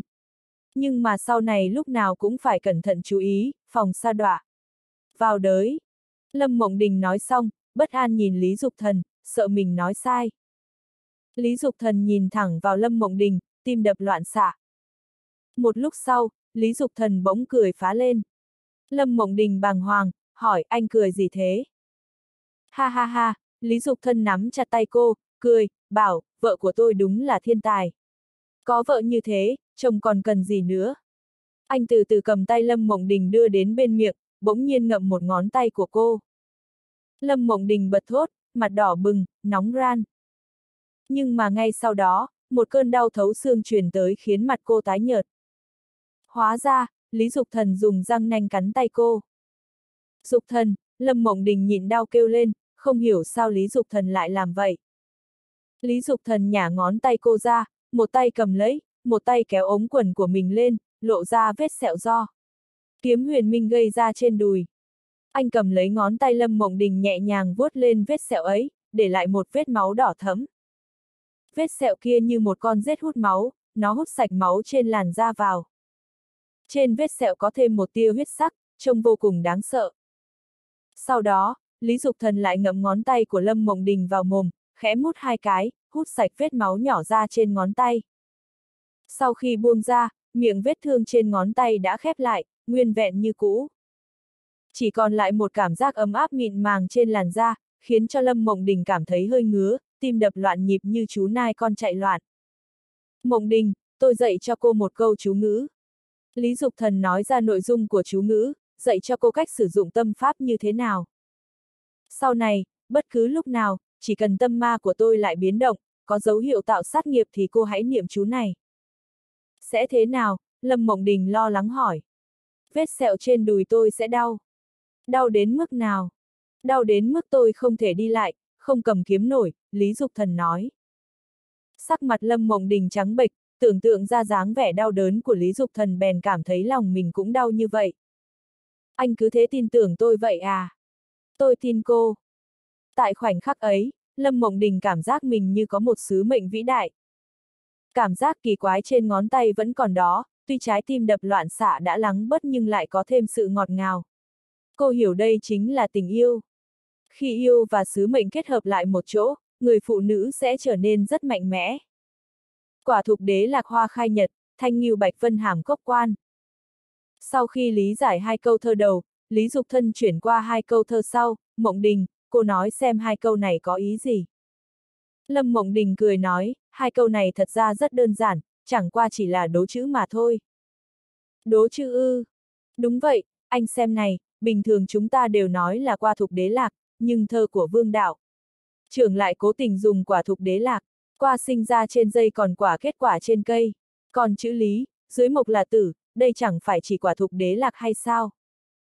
Lý Dục Thần giật mình nói, à, hóa ra là thế tên vương đạo trưởng này thật là, nói lý thì nói lý đi, còn đố chữ gì nữa. Lâm Mộng Đình nói tiếp, Thanh Nghiêu Bạch Vân Hàm Gốc quan ý nói tới chuyện lão tử cưỡi châu tới Hàm Cốc, lão tử họ lý nên cũng là ám chỉ chuyện nhà họ lý. Vậy nó có ý gì chứ? Lý Dục Thần hỏi. Sao à thì, Lâm Mộng Đình hơi trầm ngâm, nói quả thục đế lạc, ngoại trừ giải ra một chữ lý thì cũng có thể lý giải ám chỉ con cháu nhà họ lý. Còn về hoa khai nhật, quả đều rơi xuống đất, hiển nhiên là hoa đã nở rộ, cho. Nên hoa ở đây đã nở hết cả rồi nên nay nở lại. Cũng chính là chỉ, đại thụ như nhà họ Lý đã đến lúc hoa nở lá xanh trở lại. Chẳng phải ý nói đến chuyện con cháu nhà họ Lý như anh trở về sẽ chấn hưng nhà họ Lý không? Lý Dục Thần khá kinh ngạc, nhưng sao vương đạo trưởng biết tôi trở về chứ? Hay ông ta biết có một con cháu nhà họ Lý như tôi tồn tại chứ? Lâm Mộng Đình nói, không rõ lắm, nhưng mà kết hợp với câu cuối cùng xem, Thanh Nghiêu Bạch Vân Hàm cốc quan, ý nói là lão tử xuất quan, quan trọng ở chỗ hai chữ xuất quan này đây. Cho nên chỉ cần tôi lộ danh tính của mình thì vương đạo trưởng sẽ xuất quan ư. Chắc sẽ không đợi đến khi tôi chấn hưng nhà họ Lý nhỉ. Cũng không biết được. Chật, mặc kệ đi, cứ thử trước một lần, Lý Dục Thần. Mộng Đình, hai ngày nữa cô trở về trường học đi, tôi đến thủ đô một chuyến. Gặp vương đạo trưởng xong, thì mọi chân tướng đầu sẽ rõ ràng. Lâm Mộng Đình không khỏi lo lắng nói, Dục Thần, dựa vào tình hình hiện tại của anh có nên đợi một chút hay không? Tôi sợ anh. Cô sợ tâm ma của tôi lại quấy phá, tạo sát nghiệp phải không? Không chỉ có thế, tôi sợ chuyện 20 năm trước lặp lại. Lý Dục Thần sửng sốt, chợt hiểu ngay nỗi lo của Lâm Mộng Đình. Gần đây thật ra đã có dấu hiệu như vậy, cho dù anh có kiềm chế chính mình thế nào đi chăng nữa thì tiếng xấu của anh đã lan truyền khắp bên ngoài. Nhà họ Liễu ở thành phố Dũng, nhà họ Phan ở thành phố Long, Sơn Trang Hồng Vũ ở Kim Lăng. Mặc dù có những chuyện không phải anh làm, có chuyện chết còn chưa hết tột, nhưng những việc này rất khó giải thích. Lời đồn lan truyền, chạy đi bác bỏ tin đồn chỉ có nước gãy chân. Lý Dục Thần cũng lười giải thích với người ngoài. Nhưng anh không giải thích, lời đồn sẽ càng xôn xao, sợ rằng bọn nhân sĩ chính đạo cầm cờ trừ ma vệ đạo đã dục dịch. Cô nói đúng, quả thật tôi nên cẩn thận đề phòng chuyện này, Lý Dục Thần nói. Lâm Mộng Đình tiếp lời, quân tử dễ phòng, khó phòng tiểu nhân. Nếu đều là nhân sĩ chính đạo thì sẽ dễ giải thích chuyện của anh, dù sao còn rất nhiều người tin tưởng nhân cách của anh. Nhưng chỉ sợ tiểu nhân đổ thêm dầu vào lửa, thổi lửa càng to. Nhà họ Liễu ở thành phố Dũng bị giết sạch, đám nhà giàu Giang Đông bỗng nhiên ra tay với ông Lang, anh có biết sau lưng bọn họ? Giao ai điều khiển không? Lý Dục Thân gật đầu nói, tôi cũng nghĩ thế, nhưng không nghĩ ra ai. Hy vọng sau khi gặp được đạo trưởng Vương Sùng Tiên sẽ có kết quả. Lâm Mộng Đình thấy Lý Dục Thần nằng nặc muốn tới thủ đô thì không ngăn cản nữa, chỉ nói, Dục Thần, hay là tôi đi với anh đi. Lý Dục Thần hỏi hay, cô không đi học à? Lâm Mộng Đình nói, học tập không quan trọng bằng anh. Không phải anh dạy cho tôi chú ngữ là để tôi trông chừng anh sao? Tôi không ở bên cạnh anh thì chẳng phải dạy chú ngữ vô dụng rồi à? Lý Dục Thần nói, hóa ra cô nhớ chú ngữ của tôi. Lâm Mộng Đình bỗng cười rộ lên. Lý Dục Thần hỏi cô, cô cười cái gì? Lâm Mộng Đình nói, tôi chợt nhớ tới Tây Du Ký, anh có thấy mình giống như tôn ngộ không toàn năng không gì không làm được không? Còn tôi giờ chính là đường tăng, cho dù anh có lợi hại đến đâu thì cũng không thể thoát khỏi kim cô chú của tôi. Nói xong, cô chắp tay thành chữ thập, niệm A-di-đà Phật, rồi cười khúc khích. Cô cười đến run người, cười đến rung động lòng người, cười đến lòng người xuyến sao. Lý Dục Thần nhìn dáng vẻ vui tươi hớn hở của cô cũng bất giác vui lên. Lý Dục Thần đồng ý cho Lâm Mộng Đình đồng hành với mình. Ngoài trừ có thể canh tâm ma của anh, dựa vào độ thông minh của Lâm Mộng Đình cũng có thể giúp anh gỡ rối tìm manh mối, truy ra sự thật cuối cùng. Mặt khác, Lý Dục Thần vẫn luôn bận rộn nên sau khi hướng dẫn Lâm Mộng Đình nhập môn tu hành xong cũng không quan tâm nữa, để mặc cô tự học một mình, đây là một thái độ khá vô trách nhiệm. Nhân chuyến hành trình đến thủ đô lân này, đúng lúc có thể giúp cô vượt qua cánh cửa đầu tiên, giúp tu vi của cô lên một bậc. Để phòng có người thừa cơ anh không ở đây mà xuống tay với với người bên cạnh anh, chẳng hạn như những gì xảy ra với lang dụ văn lần trước, anh cố tình truyền tin tức cho Trương Tích Khôn, thiên sư của Long Hổ Sơn, và cổ thủ mặc, trụ trì của Vạn Phúc Cung ở Mao Sơn, mời bọn họ phái vài tên đệ tử đến thành phố Hòa. Không ngờ rằng Trương Tích Khôn và cổ thủ mặc, nhận được tin bèn đích thân dẫn người chạy tới. Long Hổ Sơn và Mao Sơn là đạo môn đại phái cách thành phố Hòa gần nhất, có uy danh hiển hách trong các đạo môn trên thế giới, có bọn họ ở đây, đám đệ tử ma, phái không gây nổi sóng gió gì. Nếu là người trong huyền môn thì cũng sẽ nể mặt đôi phần. Châu Khiếu Uyên là nhân vật lãnh đạo của võ đạo. Hoa Đông, nổi tiếng ngang bằng với tiêu sinh, tông sư của thủ đô được gọi là Nam Châu Bắc Tiêu. Nhà họ Châu được gọi là đệ nhất thế gia Kim Lăng, cũng là đệ nhất thế gia Giang Đông, có sức ảnh hưởng rất lớn trên xã hội. Châu Khiếu Uyên đột nhiên phát thiệp mời, đương nhiên sẽ không phải là mời Lý Dục Thần đến uống rượu, rất rõ ràng, là vì chuyện của Hiệp hội Võ Đao. Lý Dục Thần không định đi, anh và Châu Khiếu Uyên không có giao tình gì, càng không cần giải thích với người ta. Huống hồ anh đang muốn đến thủ đô, giải bài thơ, đợi Vương Sùng Tiên xuất quan, để điều tra rõ chân tướng chuyện nhà họ Lý diệt môn, chuyện này quan trọng, không thể chậm trễ. Nhưng người được cử đến đưa thiếp mời nói một câu khiến Lý Dục Thần thay đổi chủ ý. Người đó nói, ông Châu nói, nay ông ấy tuổi đã cao, không thể đích thân đến thành phố Hòa, bảo tôi thay ông A đến trước mộ bản cụ tế bái quét dọn. Lý Dục Thần nghĩ thầm, chẳng lẽ Châu Khiếu Uyên và ông cụ Lâm có giao tình cũ? Nếu là như vậy, người ta gửi thiệp đến, thì cũng không tiện mặc kệ. Anh cùng với Lâm Mộng Đình đưa người đó đến phần mộ hoang vắng bên Hồ Linh Sơn. Theo lời chăn chối cuối cùng của Lâm Thượng Nghĩa, mộ của ông cụ được xây dựng bên cạnh phần mộ của Lý. Hữu Toàn. Người đó nhìn hai phần mộ không có bia, hỏi, hỏi, đó là phần mộ của ông Lý phải không? Lý Dục Thần ngẩn người, hỏi, ông chắc chắn là họ. Lý, không phải họ Lâm. Người đó nói, chắc chắn, là họ Lý, tên là Lý Hữu Toàn, ông Châu đã dặn rất rõ ràng. Lý Dục Thần kinh ngạc. Châu Khiếu Uyên là người được kính trọng trong võ lâm, Đại Tông Sư chiếm cứ Kim Lăng trăm năm, không cần thiết phải bịa ra những lời này để lừa anh đến Kim Lăng. Trong lòng anh rất kích động. So với chân tướng chuyện nhà họ Lý thủ đô diệt vong, anh càng bức thiết muốn biết nguyên nhân cái chết của ông nội Hữu Toàn hơn. Dù sao mình cũng được ông Hữu Toàn nuôi lớn, còn thân thiết với so với ông nội Lý Thiên Sách. Hơn nữa, ông Hữu Toàn chết trong lòng mình, đến nay anh vẫn nhớ cảnh ông cụ người đầy vết thương và nụ cười mỉm cuối cùng trước khi chết. Tiếc là anh không có chút manh mối nào về cái chết của ông Hữu Toàn, ngay cả rốt cuộc là sự cố bất ngờ hay là do con người làm cũng không biết. Anh chỉ biết ông Hữu Toàn rời khỏi thành phố Hòa mấy tháng, không biết đã đi đâu. Nếu Châu Khiếu Uyên và ông Hữu Toàn là bạn cũ, liệu ông ta có biết không? Trong lòng Lý Dục Thần cháy lên tia hy vọng, anh chỉ tay, nói, đây là mộ của ông nội tôi. Người đó gật đầu, liền đi đến, nhỏ cỏ xung quanh phần mộ sạch sẽ từng chút một. Thực ra quyền khai thác Hồ Linh Sơn sớm đã thuộc về tập đoàn kinh lý, vùng tự nhiên hoang vu này cũng đã tiến hành quy hoạch cải tạo từ đầu, tuy còn giữ nét hoang vu vắng vẻ, nhưng vô cùng sạch sẽ, trước mộ rất ít cỏ. Nhưng người đó vẫn làm vô cùng nghiêm túc. Sau khi xử lý xong, ông ta mới châm lên cây hương đã chuẩn bị từ trước, cung kính khom lưng trước mộ. Sau khi dọn dẹp tế bái xong, người đó nói, cậu Lý, tôi xin cáo từ trước, sau khi cậu đến Kim Lăng, liên lạc với hội trưởng Bách là được, ông ta sẽ đưa cậu đi gặp ông Châu. Lý Dục Thần tiễn người đó ra về, liền cùng Lâm Mộng Đình chuẩn bị khởi hành đến Kim Lăng. Lần này, anh không ngự kiếm bay đi, mà trịnh trọng bảo tài xế lái xe đưa họ đi. Đến Kim Lăng, liên lạc với Bách Phú Minh, Bách Phú Minh liền đến đón anh. Họ bèn lên xe của Bách Phú Minh. Xe của Bách Phú Minh rất bình thường, cũng không có tài xế, ông ta đích thân lái xe, đi về phía ngoại ô Kim Lăng. Một chiếc xe như vậy vứt trên đường cũng không có ai chú ý, tuyệt đối không nghĩ được đây là xe của hội trưởng Hiệp hội Võ Đạo Hoa Đông.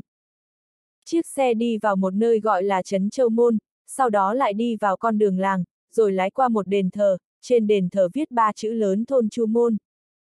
Một con đường lớn thẳng tắp từ dưới cửa thông vào bên trong, sau khi đi mấy dặm, thì thấy một thôn trang nhỏ thanh tú.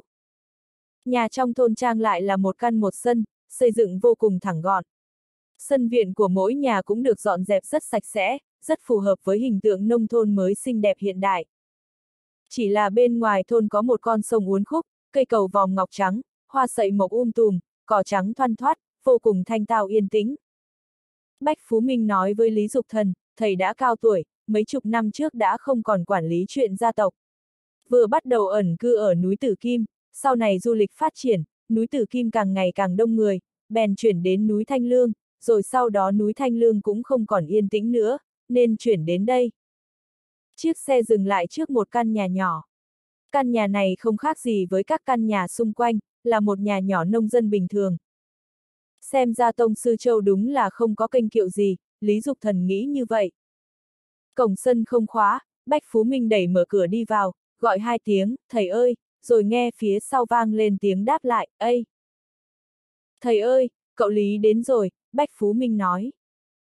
Ông lão đứng lên, nhìn sang Lý Dục Thần và Lâm Mộng Đình, lâu bàn tay đầy bùn đất lên chiếc áo vải thô của ông ta, cười ha ha nói tốt, tốt, đến rồi là tốt, Bách Phú Minh, ông đưa họ vào ngồi trước đi, tôi đi rửa tay đã. Nói xong liền đến chỗ bể nước ở giếng bên cạnh rửa tay. Nhìn ông ta, ngoài làn da, thì trông như một lão nông dân. Lý Dục Thần không khỏi có thêm vài phần thiện cảm với vị thái đổ võ lâm này. Bách Phú Minh dẫn họ vào trong nhà. Trong nhà bài trí rất đơn giản sạch sẽ, ngoại trừ những đồ dùng cần thiết ra, gần như không có thêm thứ gì. Chiếc bàn là bàn bát tiên, ghế là ghế dài, cũng không phải chất liệu gỗ quý đắt tiền gì, chỉ là gỗ bình thường. Bên cạnh còn có mấy ghế trúc rất tinh xảo, đặt dựa vào. Tường. Bách Phú Minh kéo ghế dài ra, mời họ ngồi, vừa pha những thứ này ấy à, đều do chính trà cho họ, vừa nói tay thầy làm đấy. Lâm Mộng Đình nói, ông Châu trở lại chất phác, gạt bỏ hư vinh, khiến người ta khâm phục. Bỗng nghe phía sau có người nói, khâm phục cái gì chứ, chỉ là một lão nông dân không có đất đai, không có việc gì thôi. Thế giới này ấy à, mãi mãi thuộc về thanh niên trẻ các cậu. Châu Khiếu Uyên từ bên cửa đi vào, phủi bụi trên người nói. Lý Dục Thần và Lâm Mộng Đình đứng lên. Châu Khiếu Uyên vội vàng nói ấy, hai người ngồi đi, hai người ngồi đi. Nông thôn đơn sơ một chút, hai người cứ tự nhiên. Phú Minh, đi pha hai ly cà phê, thanh niên thích uống cà phê, không thích uống trà này đâu. Lâm Mộng Đình phì cười một tiếng nói, ông Châu, uống trà không phải là quyền lợi riêng của người già, bây giờ thanh niên uống trà nhiều lắm. Tôi biết, các cô cậu thích uống trà sữa, Châu Khiếu Uyên đến bên bàn bát tiên, kéo ghế dài ngồi xuống, lần trước cháu cố đến thăm tôi, mang cho tôi một gốc. Mùi vị đó, nói thế nào nhỉ? Ông lão ngửa cổ nhìn trần nhà, suy nghĩ hồi lâu cũng không hình dung ra, cười he he. Lâm Mộng Đình nói, cháu cố hiếu kính với ông, mùi vị gì cũng đều ngon. Ha, cô nhóc này biết ăn nói đấy. Tôi thích, Bách. Phú Minh chỉ vào Lâm Mộng Đình nói với Châu Khiếu Uyên, sau đó cười lớn ha ha. Bách Phú Minh cũng cười ha ha. Lúc này, chỉ có Lý Dục Thần ngồi ở đó vẫn không nói gì, giống như thiếu niên thẹn thùng. Châu Khiếu Uyên bỗng nhìn sang anh, N nhóc nhà cậu, bên cạnh có cô gái tốt như vậy, số đào hoa đúng là giống y bố của cậu, sao lại không hay nói chuyện thế? Năm đó cái miệng của bố cậu ngọt đến mức có thể khiến mật chảy từ mông vịt ra. Ông biết bố của tôi ư, Lý Dục Thần hỏi.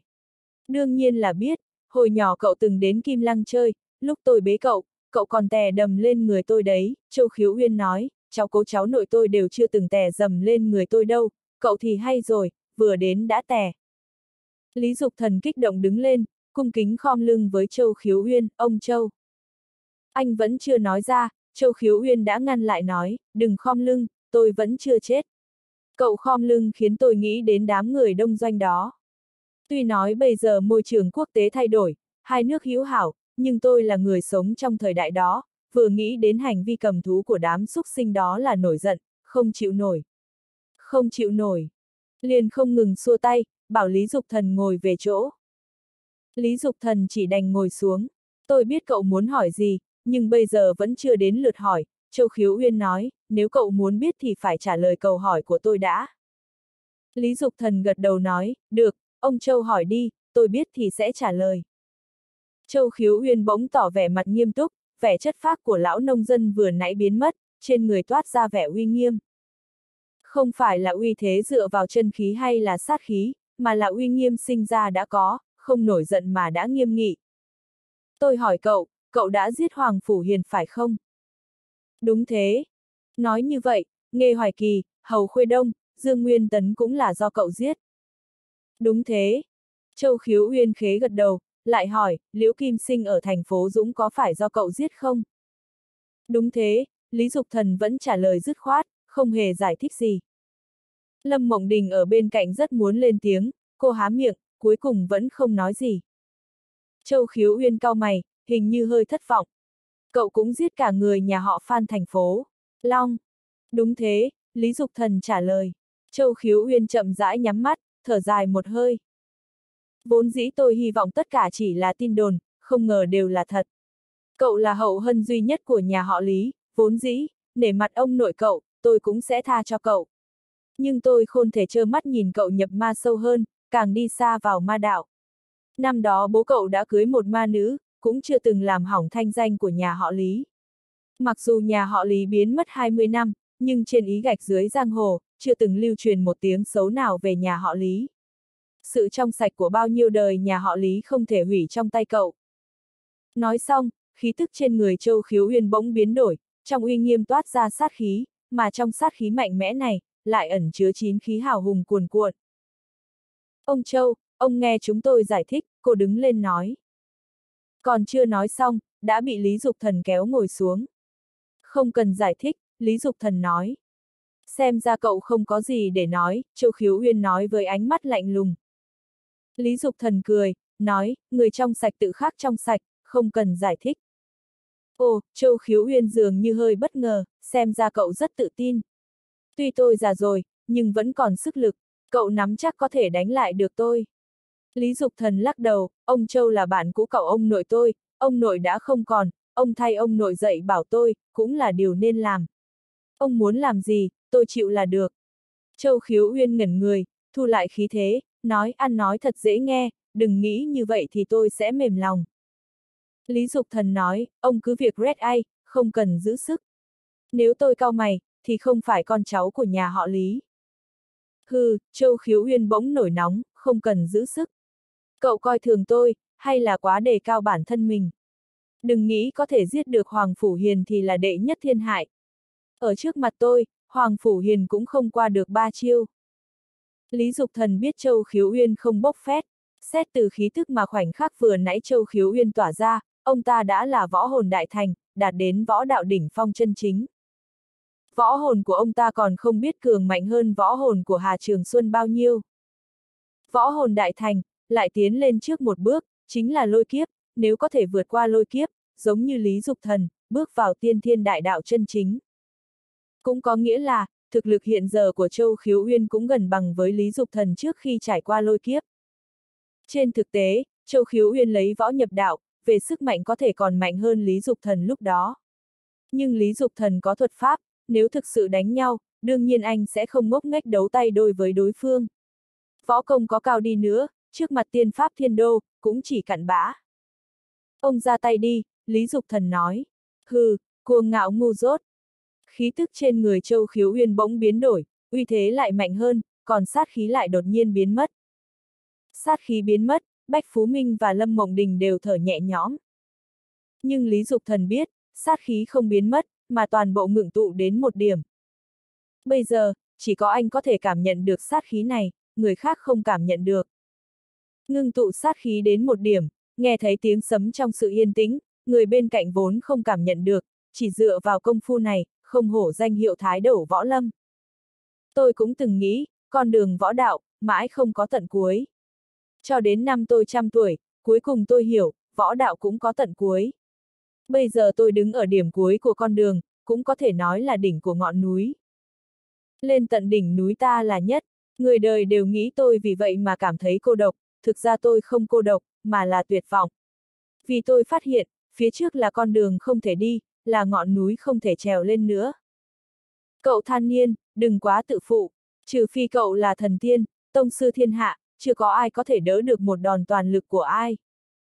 Giọng của Châu Khiếu Uyên càng lúc càng bay bổng, dường như rơi vào hư không, ngay cả người ông ta cũng trở nên không chân thực.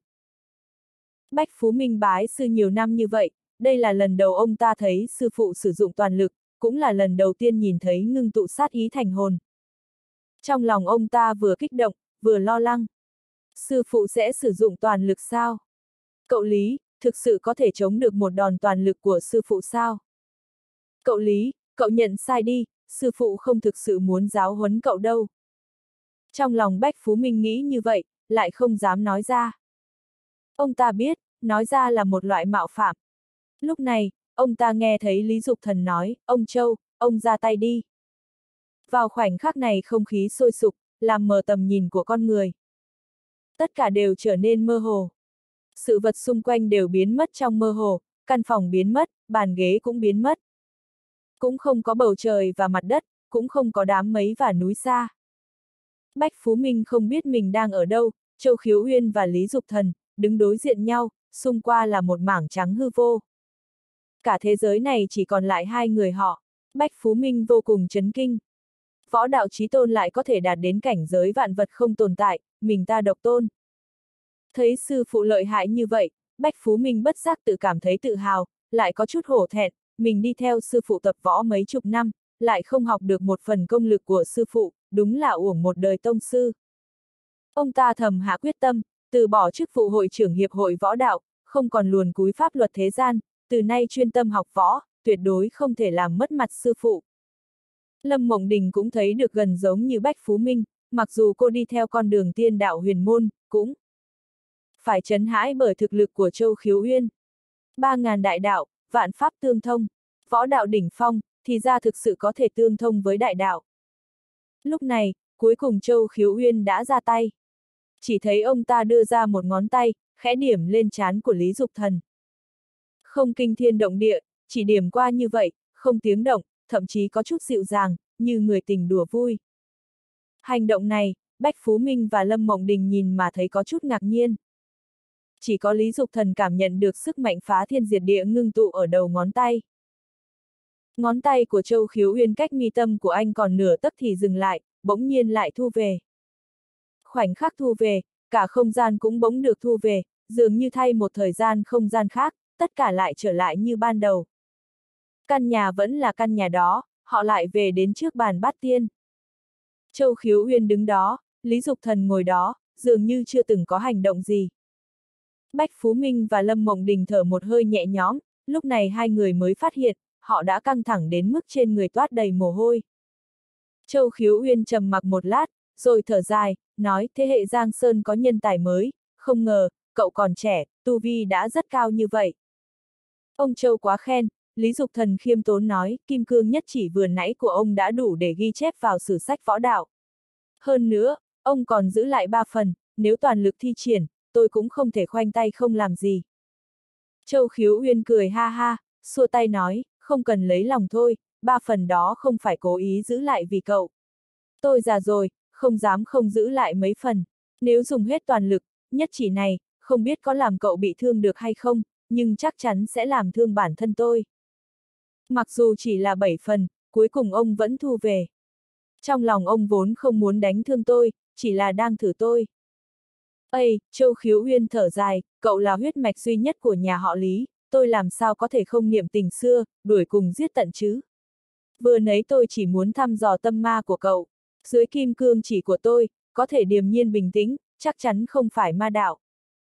Hơn nữa, cậu có thể không nhìn đến bảy phần công lư xê của tôi, nếu muốn giết người, Sơn Trang Hồng Vũ chắc chắn không còn ai có thể sống sót.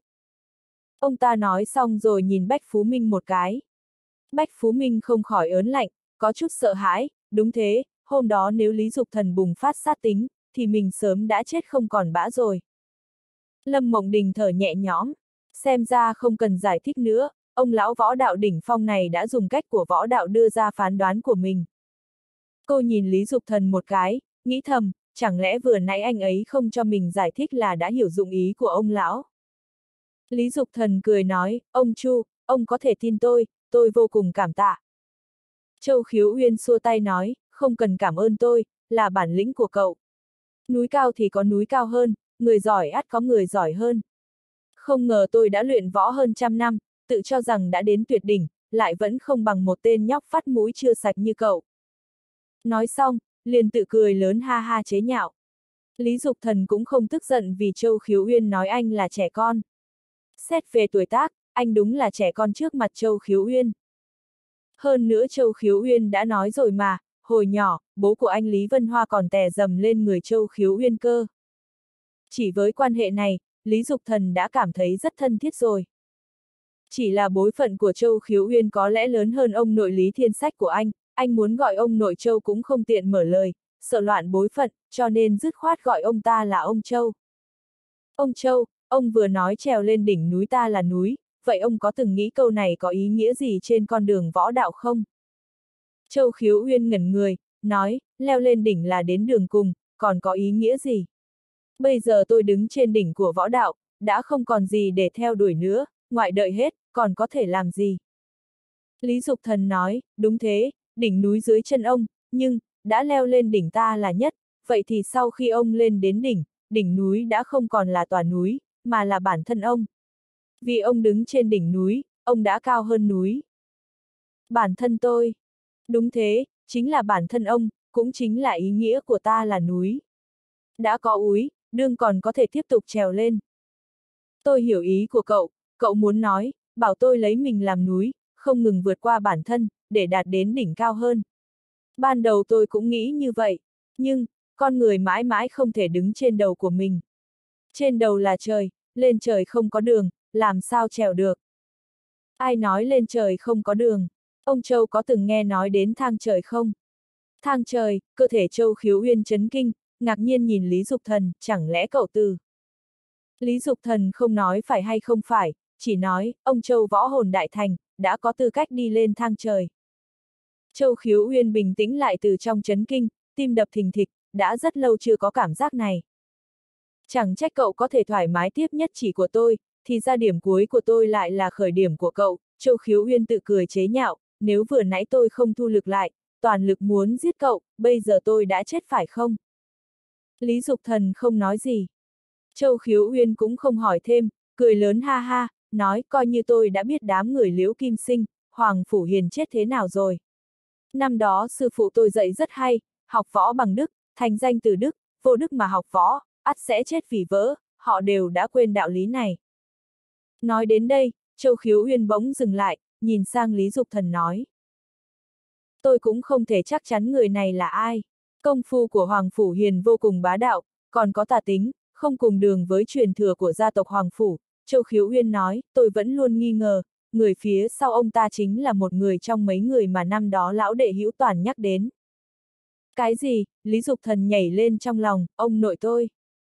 Châu Khiếu Uyên nhìn anh, gật đầu, nói, năm đó, trước khi nhà họ Lý xảy ra chuyện, Lý Thiên Sách nhờ người đưa một bức thư mật đến cho tôi.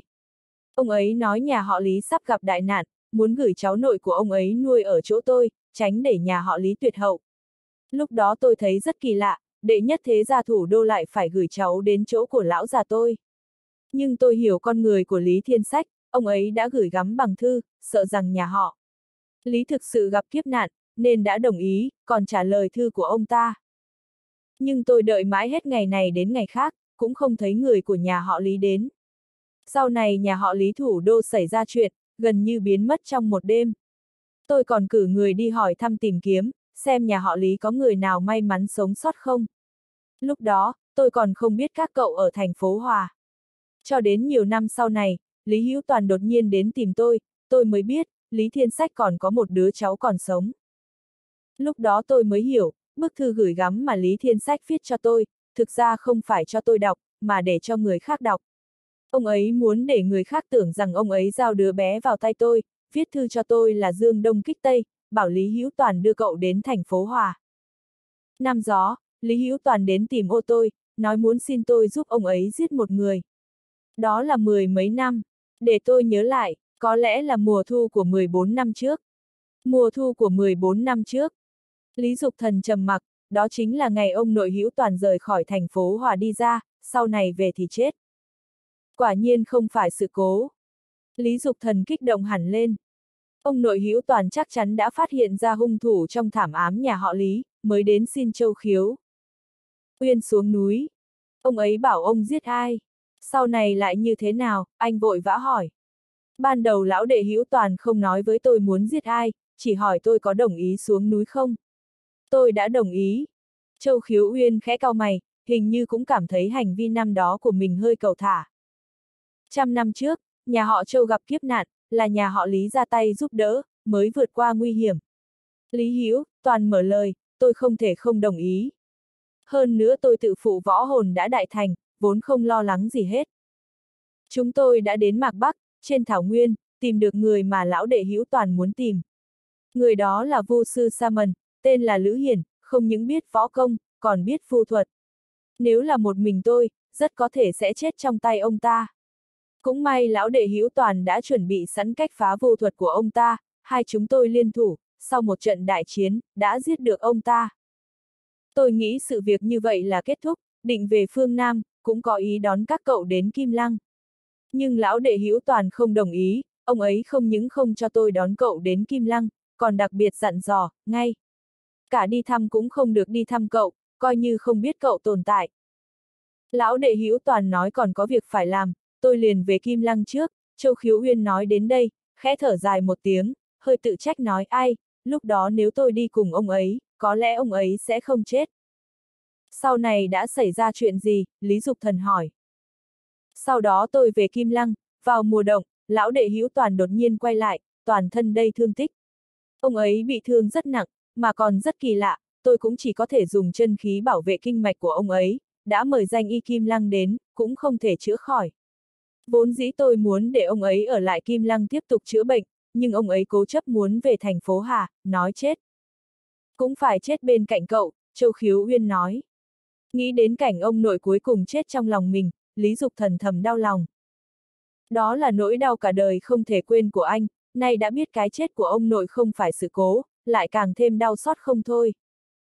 Rốt cuộc là ai, anh cắn răng hỏi. Người đánh thương ông ấy tên là Đồng Hạo, Châu Khiếu Uyên nói, tôi cũng từng nghe nói đến tên của kẻ này. Kẻ này không việc ác gì không làm, thời tiền triều là phạm nhân quan trọng bị truy nã, không chỉ có triều đình duy nã ông ta, rất nhiều thế gia hào môn cũng treo.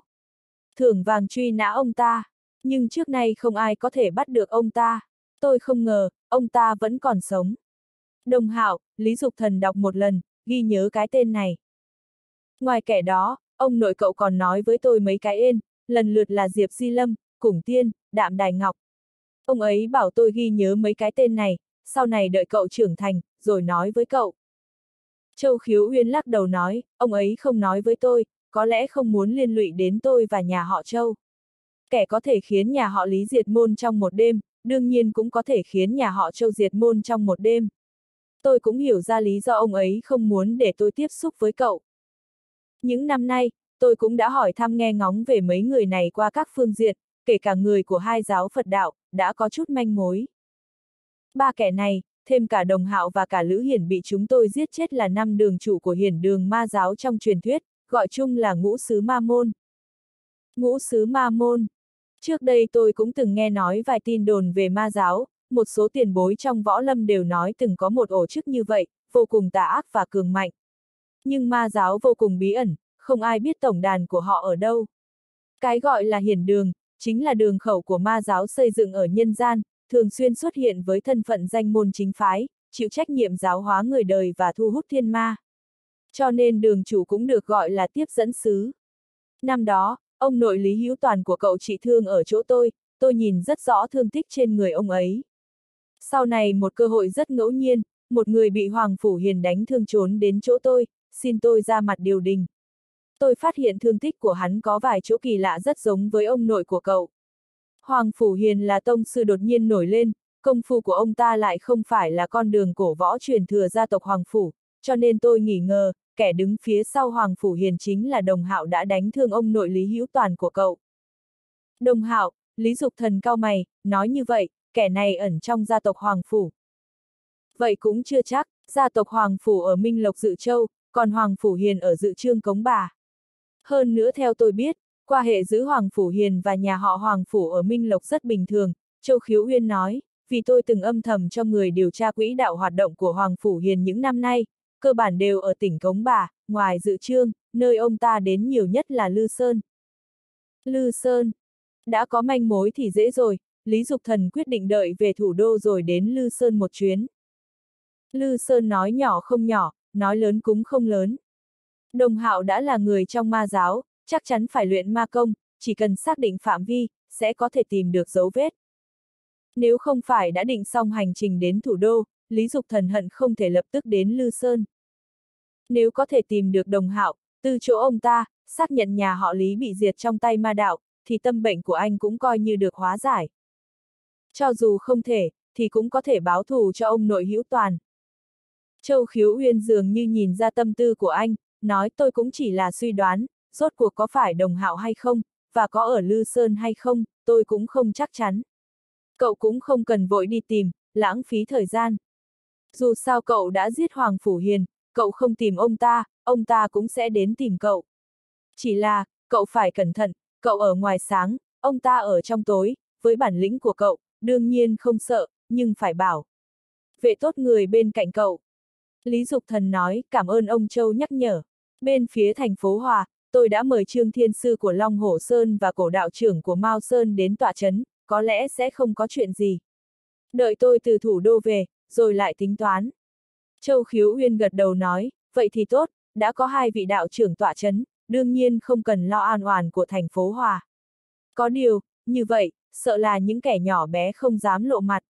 Ừm, Châu Khiếu Uyên hơi trầm ngâm, tôi có chủ ý này. Mời ông Châu nói, lần này tôi mời cậu đến, bên ngoài đều cho rằng tôi muốn ra mặt thay hiệp hội võ đạo.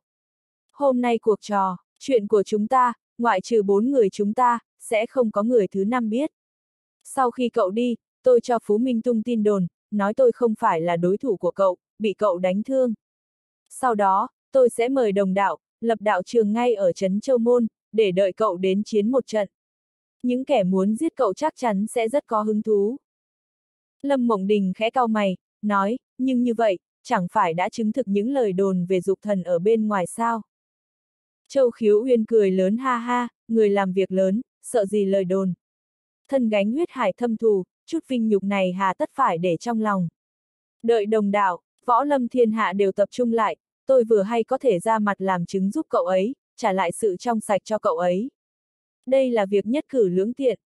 Lâm Mộng Đình bất giác đỏ mặt, nói, vẫn là ông Châu nhìn thấu tất cả, là tôi nông cạn, tấm lòng rộng mở của ông Châu khiến người ta kính phục. Bách Phú Minh khẽ cao mày, tuy nói Châu Khiếu Uyên thực sự bại trước Lý Dục Thần, nhưng truyền ra ngoài, sẽ tổn hại anh minh một đời của ông cụ. Nhưng ông ta biết ông cụ trước nay không màng hư danh, nếu mình nói như vậy, chắc chắn bị sẽ mắng một trận, bèn nói, sư phụ, nếu đồng hạo không đến thì sao? Chẳng phải là uổng công sao? Châu khiếu uyên ni mưu sự tại nhân, thành sự tại thiên. Chúng ta chỉ có thể làm hết sức mình, kết quả thế nào, có ai có thể biết trước chứ? Lý Dục Thần nhớ đến ánh mắt tham lam của Hoàng Phủ Hiền khi nhìn thấy kiếm huyền minh của mình, trong lòng khẽ động, nói, mọi người cứ nói tôi không phải dựa vào võ công đánh bại ông Châu, mà dựa vào bảo vật trên người giành chiến thắng. Anh nói xong lìa lấy kiếm huyền minh đặt lên bàn. Châu Khiếu Uyên và Bách Phú Minh ngẩn người, không biết đây là bảo vật gì, như kiếm mà không phải kiếm, giống như một cây thước sắt đen, trông rất bình thường. Nhưng sau khi khi Lý Dục Thần dùng tay cầm chuôi kiếm, truyền pháp lực, trong lòng hai người cùng chấn động. Màu sắc đen xì, lại trói mắt giữa ban ngày, giống như một chùm sáng màu đen. Còn trong ánh sáng đen u ám mờ mờ, lại có cảm giác muốn hút cả linh hồn của con người vào trong. Cùng với ánh sáng đen phát ra, trong căn phòng đã bị khí tức chết chóc bao trùm, dường như không còn nhân gian. Đã kịp chuyện chữ. Các bạn chờ nha. Khi đủ tập mình sẽ đăng tiếp. Audio điện tử võ tấn bền. Hết tập 39